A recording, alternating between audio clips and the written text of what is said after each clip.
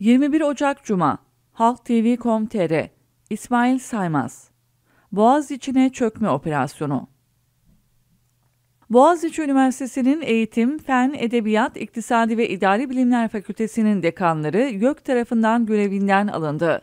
Rektör Naci İnce, disiplin suçları nedeniyle açılan soruşturmalar kapsamında işlemin yapıldığını açıkladı. Üç dekan hangi suçu işlemiş olabilir? Üniversite Yönetim Kurulu'ndan Profesör Doktor Ünal Zenginobuz'a göre protesto eylemine katılan öğrencilerle ilgili soruşturmayı safsaklamakla suçlanıyorlar.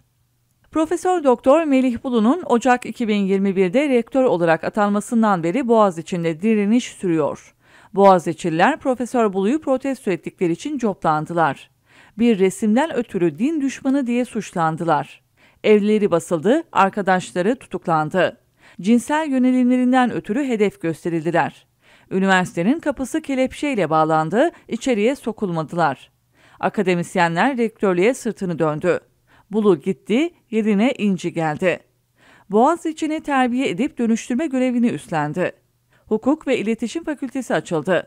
AK Parti'den milletvekili adayı olan Profesör Selami Kur'an, Hukuk Fakültesi dekanlığına getirildi. Bakırçay Üniversitesi'nden doçent İbrahim Öztürk, Sosyal Bilimler Enstitüsü'ne müdür yapıldı. Bu senatoda ve yönetim kurulunda sandalye demekti.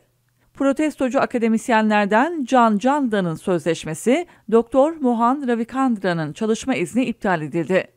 Eylemi destekleyen 16 akademisyene dava açılması bekleniyor. O isimlerden biri de Profesör Doktor Fikret Adaman. Ekonomi profesörü olan Adaman, Boğaz içine çökme operasyonu yapıldığını vurgulayarak şöyle diyor. Güç kullanarak sindirip susturmak cihetine gittiler. Üniversitenin özerk yapısını yok etmeye yönelik çaba var. Yeterince yerli ve milli değilsiniz iddiasıyla ve bir takım kişileri dışladığımız ithamıyla Boğaziçi'nin üstüne çökme operasyonu bu. Adaman Boğaziçi'nin dokusunun bozulacağını ve üniversite kültürünün son bulacağını anlatarak şöyle devam ediyor. Boğaziçi çok kültürlülük ve birlikte var olma yeri. Sadece eğitim verilen yer değildir. Güçlü kulüplerin kurulduğu, sosyal ağların geliştiği ve kültürel etkinliklerin düzenlendiği bir yer. İslami Araştırmalar Kulübü de var, LGBTİ kulübü de. Kavganın çıktığı enderdir. Bunu başarmışken, güzel insanlar yetiştirirken, araştırmalar yaparken hep soruyorum. Neyi yanlış yaptık da saldırıya maruz kaldık? Bilgisayar mühendisliğinden Profesör Doktor Lale Akarun ise yandaş kadrolaşmanın önünü açmak için akademisyenlik şartlarının esnetilmek istendiğini savunuyor. Akarun şöyle devam ediyor.